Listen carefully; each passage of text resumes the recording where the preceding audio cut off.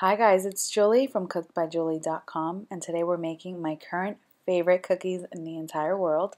They're called monster cookies and I can't wait for you guys to make these. Let's get started. So you're going to need some unsalted softened butter at room temperature. You want to go ahead and mix that and you're going to make these exactly how you would make chocolate chip cookies or any other cookie.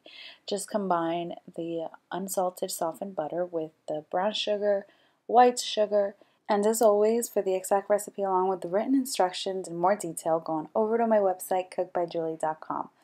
Also follow me on Instagram and Facebook. I am super active on those social media sites. Go ahead and add an egg and some vanilla extract. And it's going to look curdle a little bit, but that's all right. Keep on mixing, and then we are going to add the peanut butter. So these cookies, they're just loaded with peanut butter, chocolate chips, um, M&Ms, and old fashioned oats. And they are, like I said earlier, the best cookies ever. Go ahead and add the all purpose flour along with the baking soda. And then last, we're going to throw in the milk chocolate chips, old fashioned oats, and some M&Ms. Mix it until it turns into cookie dough. And then we are going to bake them.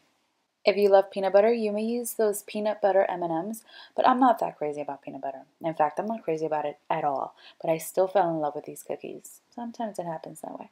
I used a mini scoop. Mm, that second cookie looks a little rough, but it's okay. Um, I redid it in the end. So these cookies don't really grow or flatten out much. So if you want a large cookie, I suggest using a large ice cream scoop and flattening it out a bit. Bake them for 11 minutes. Don't go over 11 minutes and you will have an amazing cookie or cookies. These were perfect for me. I love the size. The taste was incredible. And that's not lipstick, that is an M&M. If you have everything on hand, go make these right now. Run. But make sure you have some milk because I didn't and I was kind of annoyed. And it was too late for coffee and I don't like decaf, the struggle. Definitely give these a try. Let me know if you do. And I want to thank you guys so much for watching.